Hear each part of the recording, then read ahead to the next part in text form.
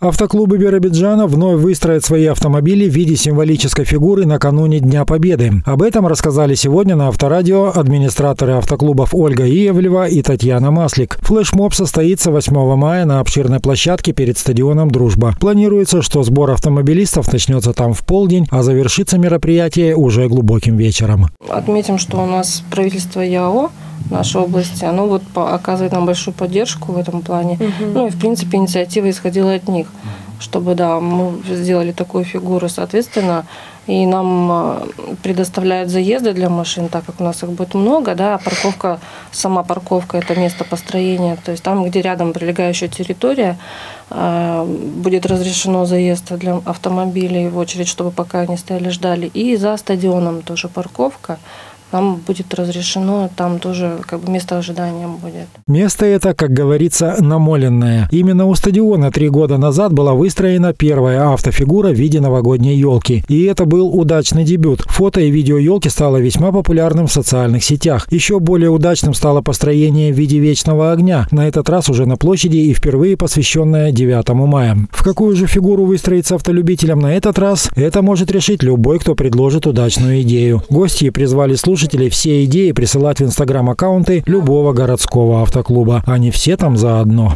Братство дорог, Honda, Виш, э, неважно, марка вид, образ, марка образ, неважно, что угодно. Любой автоклуб заходите, видите там а, именно вот э, по предложениям, пишите в директ любое ваше предложение. Также, Вопрос.